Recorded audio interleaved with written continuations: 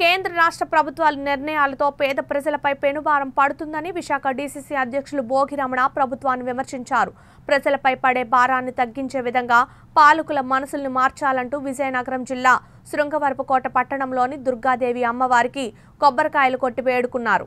అనంతరం భోగి రమణ మాట్లాడుతూ కరోనా కష్టకాలంలో ప్రజలకు పనులు లేక ఇబ్బందులు పడుతుంటే మూలిగే నక్కపై తాటిపండు పడ్డట్టు పెట్రోల్ డీజిల్ ధరలు పెరగటం వల్ల నిత్యావసర ధరలు పెరిగి సామాన్యుడు తిండి గింజలను కూడా కొనుక్కోలేని పరిస్థితుల్లో ఉన్నాడని కరోనా కష్టకాలంలో పేద ప్రజలకు ఆదుకోవాల్సిన కేంద్ర రాష్ట్ర ప్రభుత్వాలు వారిపై పెనుభారాలు మోపడంపై కాంగ్రెస్ పార్టీ తీవ్రంగా విమర్శిస్తూ ఉందని అన్నారు. కరోనా కష్టకాలంలో తల్లిదండ్రులు కుటుంబ పెద్దలను కోల్పోయి అనాథులైన వారిని ఆదుకోవాలని వారికి ఆర్థికంగా కేంద్ర రాష్ట్ర ప్రభుత్వాలు సాయపడాలని ఆయన కోరారు.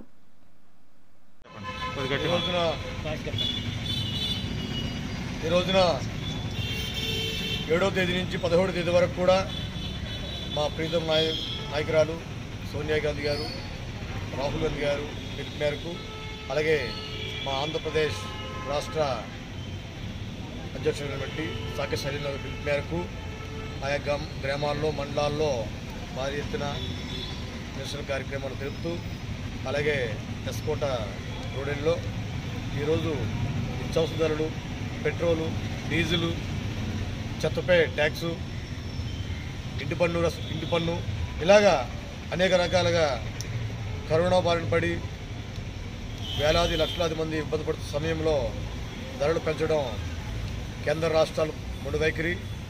ఖచ్చితంగా ధరలు తగ్గించాలని మా కేంద్ర రాష్ట్ర ప్రభుత్వం సోనియా గాంధీ గారు మా పీసీసీ అయినటువంటి సంఘ సైనిక పిల్లల మేరకు ఈ రోజున అమ్మవారిని వేడుకొని ప్రజలకి న్యాయం చేసే వరకు కాంగ్రెస్ పార్టీ పోరాడుతూనే ఉంటుందని చెప్పి మా నాయకులు కార్యకర్తలు కూడా కొబ్బరికాయలు అమ్మవారికి కొట్టి అమ్మవారి ఆశీస్సులు తీసుకొని ఆంధ్రప్రదేశ్ ప్రజలకి ధరలు తగ్గించే వరకు కూడా కాంగ్రెస్ పార్టీ పోరాడుతుంది.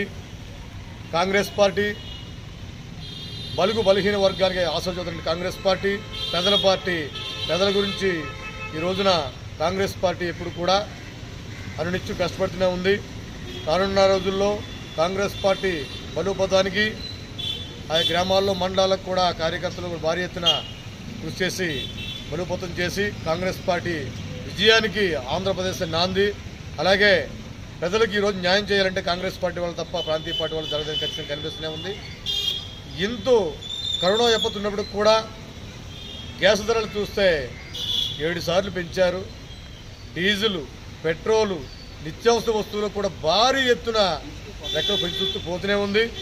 ఇలా చేస్తే సామాన్య వ్యక్తి ఎలా బతకాలనే పరిస్థితి ఈరోజు ఇబ్బంది పడుతున్న వైద్యులను కూడా చూస్తూనే ఉన్నాం. తక్షణమే కాంగ్రెస్ పార్టీ పోరాడి ప్రజలు న్యాయం చేసే వరకు కూడా ఖచ్చితంగా కాంగ్రెస్ పార్టీ పోరాడుతూనే ఉంటుంది. రానున్న రోజుల్లో రేపు పదిహేడు తేదీ వరకు కూడా ఇంకా గ్రామాల్లో వెళ్ళి గ్రామ సమస్యలు ప్రజలకి వినవించి ప్రజల సమస్య తెలుసుకొని మేము ఇచ్చే మెమోరం రాసుకొని ప్రజలకి మేము తెలియజేసింది ఒక విషయం ఏంటంటే నిత్యావసర వస్తువులు ఈ రోజున ఇంత ధరలు పెరిగినప్పటికి కూడా కనీసం చేమకుట్టినట్టు లేదు కేంద్ర రాష్ట్ర ప్రభుత్వాలకి. ఇంత దౌర్భాగ్య విషయం ఒక ఈ ఆంధ్రప్రదేశ్ చూస్తూనే ఉన్నారు. తక్షణమే